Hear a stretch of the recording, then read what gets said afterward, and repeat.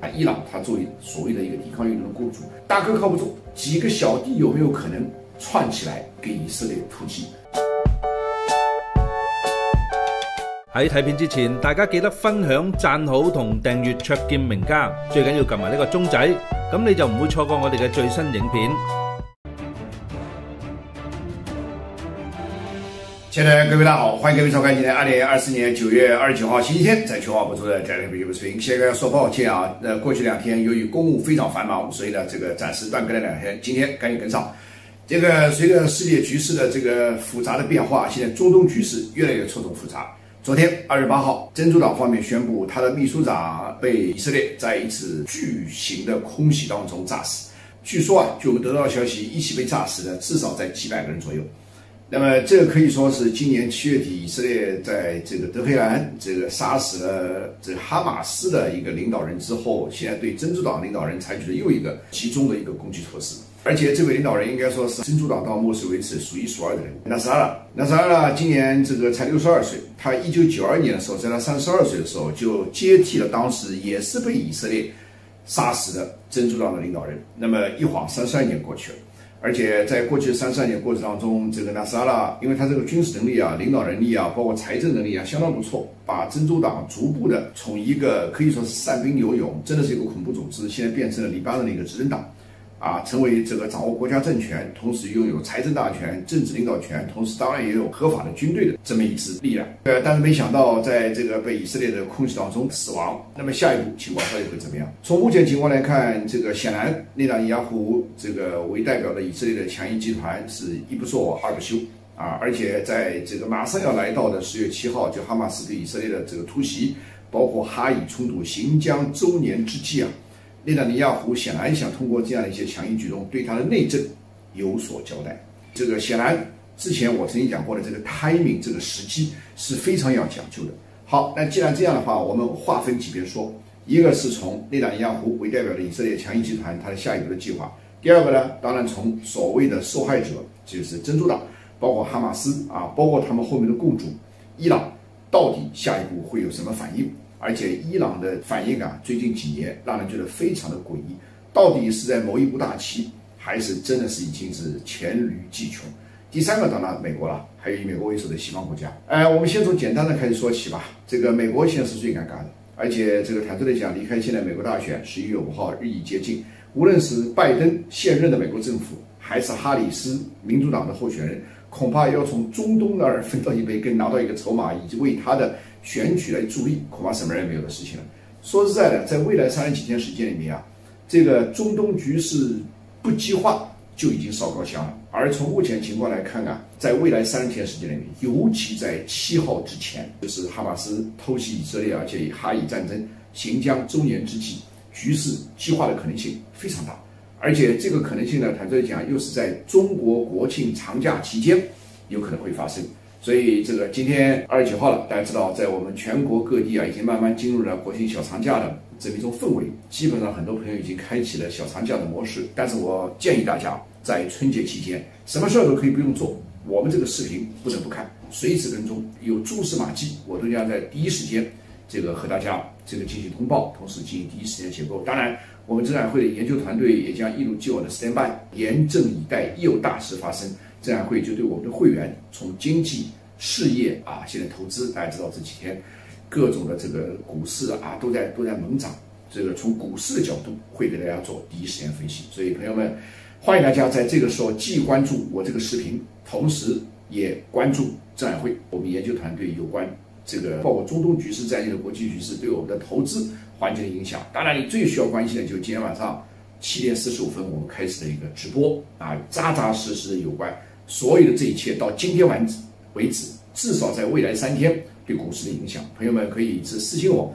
这个直播二字啊，就可以获得联络。好，那么现在这个美国方面恐怕什么人也没有的事情啊，而且局势会不断的激化。当然，特朗普目前有可能是会最大的一个捡钱包者，这个事儿就以后再讲。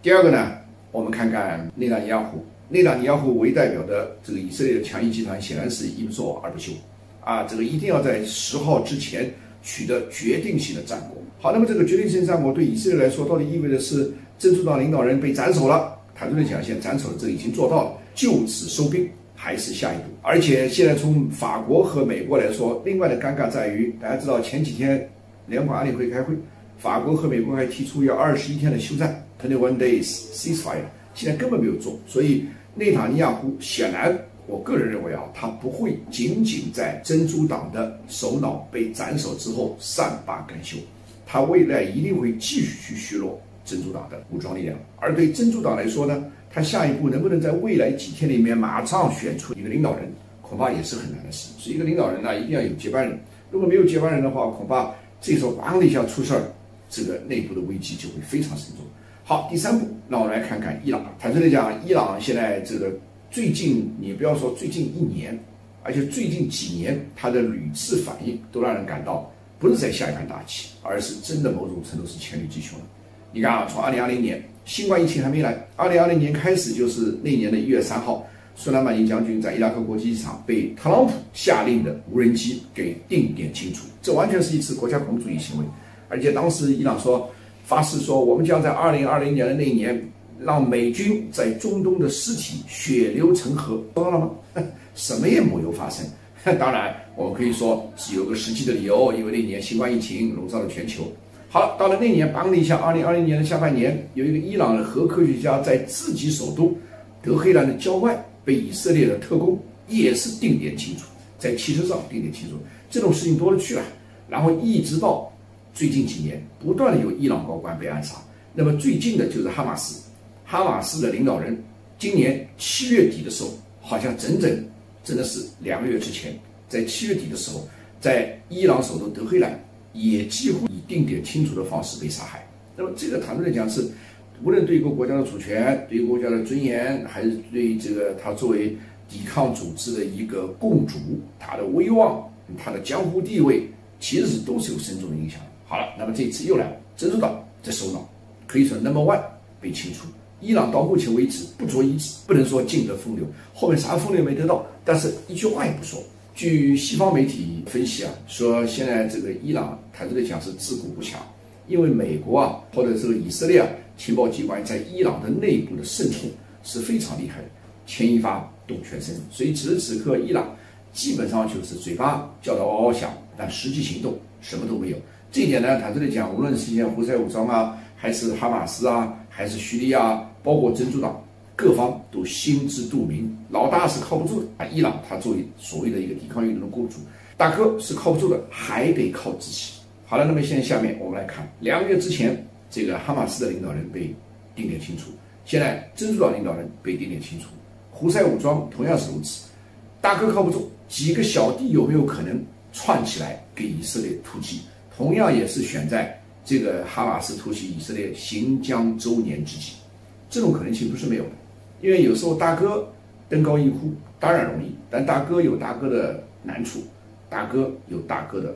这个考虑啊。而几个小兄弟联起手来，其实一点毛病都没有。以色列一个反击，包括去年十月七号哈马斯突袭以色列，现在看起来显然是问题的一个导火线，或者说一个局势转化的一个转折点。但当时哈马斯跟伊朗商量了吗？跟伊朗商量没用的，伊朗不会支持他的。哈马斯跟珍珠党联手了吗？根本没有联手，完全是哈马斯自己。单独行动，所以啊，既然是内塔尼亚胡说要在周年之际，行将周年之际要他拿出来战果，那么他的敌人、他的对手又何尝不是如此呢？所以大家一定要高度关注。我们开始国庆假期，这个国庆假期有可能会成为一个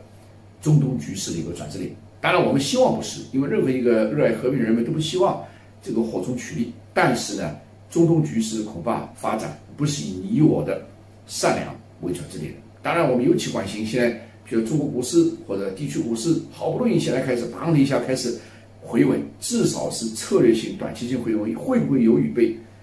国庆假期突如其来，有可能甚至非常有可能来临的这个中东局势被打乱，我们非常的关心啊！非常感谢各位关注。中意名家分析，记得俾 like 同埋分享，支持同订阅卓见名家，最紧要撳埋呢个钟仔，咁就唔会错过我哋嘅新片。